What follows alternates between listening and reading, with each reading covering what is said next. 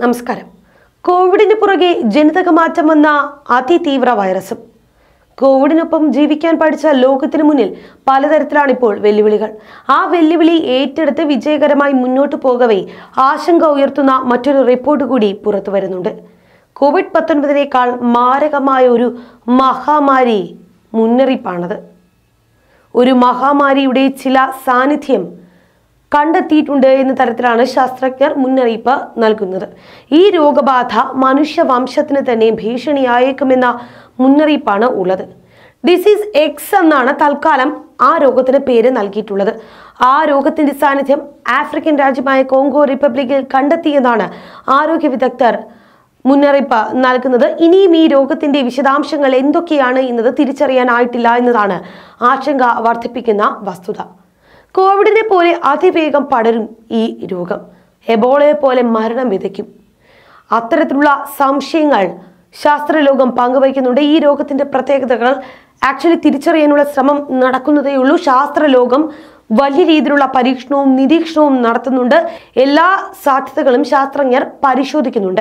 അപ്പോഴും ഇനിയും തിരിച്ചറിഞ്ഞിട്ടില്ലാത്തതും മഹാമാരിയാകാൻ സാധ്യതയുള്ളതുമായ രോഗങ്ങളെ കുറിക്കാൻ ലോകാരോഗ്യ സംഘടന ഉപയോഗിക്കുന്ന ഒരു ടേമാണ് ഡിസീസ് എക്സ് അപ്രതീക്ഷിതം.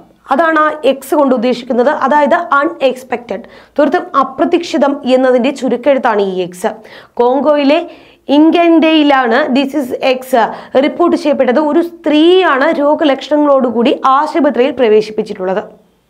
കടുത്ത പനി രക്തസ്രാവം അങ്ങനെ നിരവധി ലക്ഷണങ്ങളാണ് ആ സ്ത്രീക്കുള്ളത്. ഈ രോഗിയിൽ എബോള അടക്കമുള്ള വിവിധ രോഗങ്ങളുടെ നിർണയത്തിനായി നിരവധി പരിശോധന നടത്തി. പക്ഷെ അതെല്ലാം നെഗറ്റീവാണ് കാണിക്കുന്നത്. ഇതോടുകൂടിയാണ് ഇത് ഇനിയും തിരിച്ചറിഞ്ഞിട്ടില്ലാത്ത ഏതോ മാരകമായ രോഗമാകാമെന്ന സംശയം ഉയർന്നത്. ഇത് തന്നെയാണ് ശാസ്ത്രലോകം പങ്കുവയ്ക്കുന്നത്. കോവിഡിൽ നിന്ന് വ്യത്യസ്തമായി അൻപത് മുതൽ തൊണ്ണൂറ് വരെ ശതമാനം മരണനിരക്ക് ഡിസീസ് എക്സിന് ഉണ്ടാകുമെന്നാണ് കണക്ക് കൂട്ടുന്നത് ഈ രോഗം അതിമാരകമാകാമെന്ന് ആയിരത്തി തൊള്ളായിരത്തി എഴുപത്തിയാറിൽ ആദ്യമായി എബോള വൈറസ് കണ്ടെത്തിയ സംഘത്തിലെ microbiologist professor Jean Jacques Muyembe Tamfum മുന്നറിയിപ്പ് നൽകുന്നുണ്ട്. കോവിഡിനെ പോലെ ജന്തുജന്യമായിരിക്കാം ഡിസീസ് എക്സും.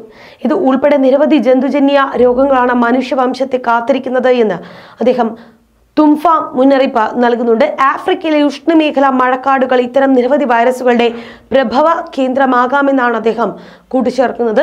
കോവിഡ് പ്രത്യക്ഷപ്പെടുന്നതിന് മുൻപും നിരവധി ശാസ്ത്രജ്ഞരും ആരോഗ്യ വിദഗ്ധരും മാരകമായ ജന്തുജന്യ രോഗങ്ങളുടെ സാധ്യത ചൂണ്ടിക്കാട്ടിയിരുന്നു. വന നശീകരണവും വന്യജീവികളുടെ ആവാസ വ്യവസ്ഥ തകർക്കുന്നതും ഉൾക്കാടുകളിലേക്ക് പോലുമുള്ള മനുഷ്യന്റെ കടന്നുകയറ്റവും എല്ലാം ഇത്തരം മാരക വൈറസുകൾ പുറത്തെത്താനും മനുഷ്യരിലേക്ക് പടരാനും കാരണമാകുന്നുണ്ട്. ഈ സാധ്യതകൾ തന്നെയാണ് പകർച്ചവ്യാധി വിദഗ്ധരും ചൂണ്ടിക്കാട്ടുന്നത്.